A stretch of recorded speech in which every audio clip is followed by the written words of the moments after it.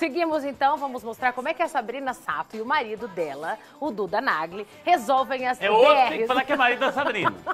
ninguém, ninguém sabe que, Ninguém que sabe, é. é o Duda Nagli, marido da Sabrina Sato. E eles gostam de luta, de Muay Thai, de boxe. E assim, olha lá o que eles fizeram ontem à noite pra resolver as DRs.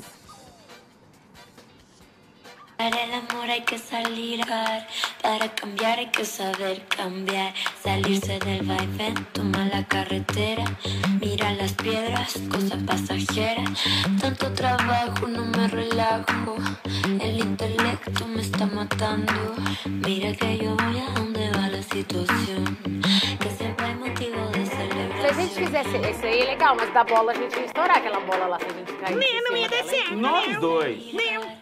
Ó, Ah. é, a grande vantagem aqui é o seguinte, tá? O pessoal fala de, ah, ai, gordofobia, não sei o quê. Não. Como eu e a Carol somos gordinhos, a gente pode falar. É. Nós íamos resolver no sumô. Nós dois íamos resolver no sumô. Não, a gente não, pode falar. Não, eu não posso, porque eu acho que é muito sensual a roupa do sumô. Sério? Ah, é verdade, tem aquele negócio É. Catracar assim atrás, não, não- não- sei lá. Nunca vi uma, uma luta de sumô de mulher, acho que não tem. Acho Sumô que de não tem mulher? sumô Não de sei. sumô, Não, sumô feminino? Sumô de feminino não tem, Não, eu nunca acho. vi Só o de também. homem. Não.